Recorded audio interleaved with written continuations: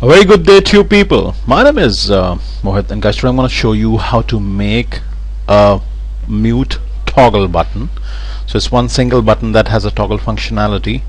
Uh, to start with up front it will be in the state where you don't see this uh, diagonal red line and it'll be mm, you know the music will be playing in the background and uh, the next moment when somebody hits that button you will see that the volume actually uh, becomes zero there's no volume the intensity goes void and uh, you see that red diagonal line guys.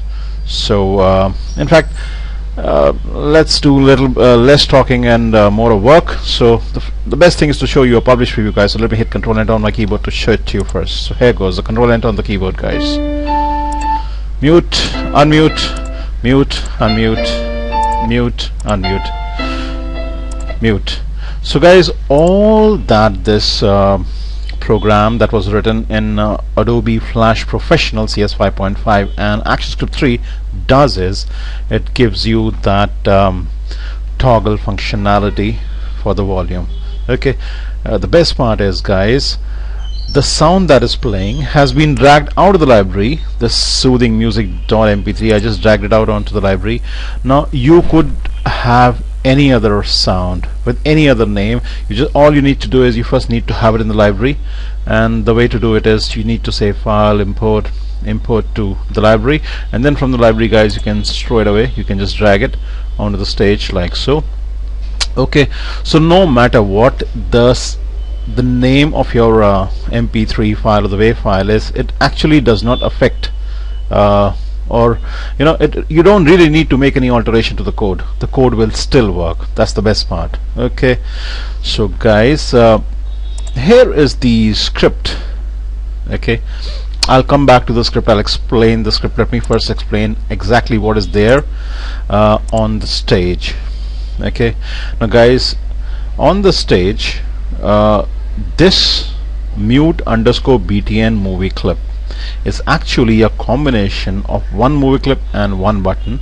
And I can be sure of that if I double click and go inside this movie clip.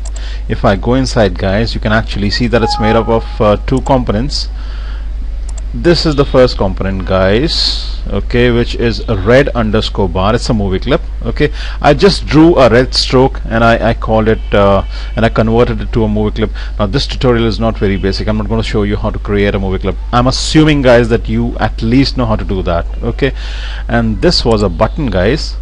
This was a button. I've not given it any instance name which I pulled up from window common libraries buttons and uh, under the playback flat buttons um, category. We have that flat blue play button. I pulled it out from here okay? I did not give it an instance name. I drew the stroke okay diagonal red stroke and I called it red underscore bar okay let me say control Z okay to reset the things that they were. Okay then I, I selected both of them together okay and let me go back to the main timeline and I gave them an instance name mute underscore btn so basically mute underscore btn is a combination of that play button and uh, which does not have an instance name and that red stroke diagonal stroke okay which I've called red underscore bar.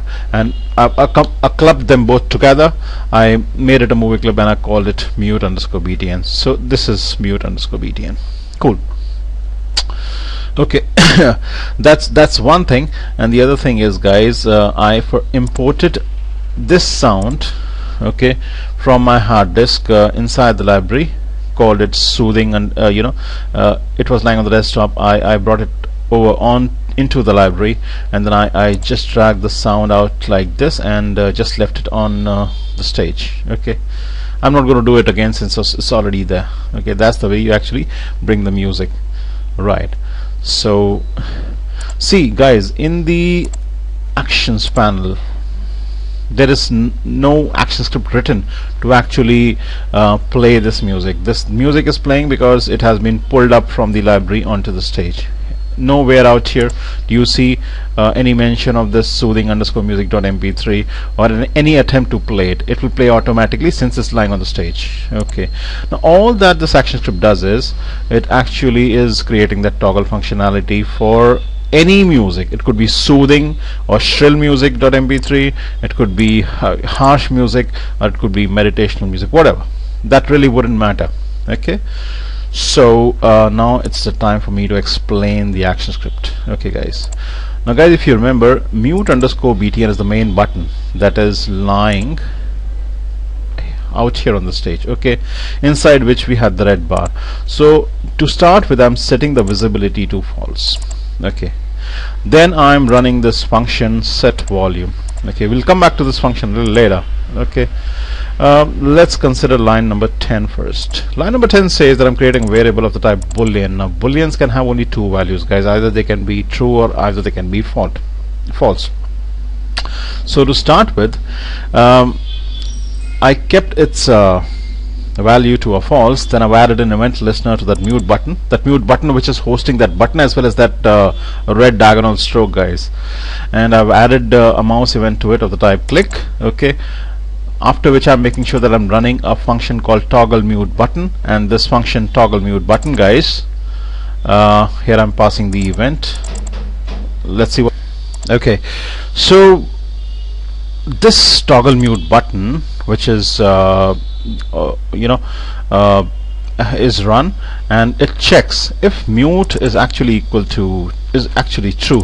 And notice how here guys since it's a boolean and we had set it to false okay. So if it it checks if it's true or false. And if it's true then notice what it does. It says in fact uh, let me crunch this left side so we have a good view. Okay. So it checks. If mute is true then it sets the mute to false. So it sets this uh, boolean to uh, false if it is true. And it runs the function set volume which is out here. That was the reason I told you I'll come back to it a little later. Uh, it runs the function it calls the function set volume and passes the the value 1 which is then fed to this variable volume. Okay? But and it also makes sure that the red bar visibility is set to false. So the red bar disappears.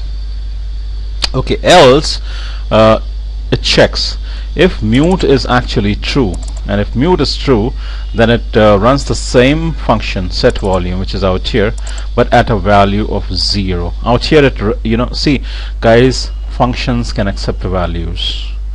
Uh, out here we have passed the value 1 out here we have passed the value 0 and no matter what the value is whether it's 1 or whether it's 0 it will in line number 3 notice out here this is the function guys. This volume variable this volume out here is going to accept this value either 1 or 0 okay?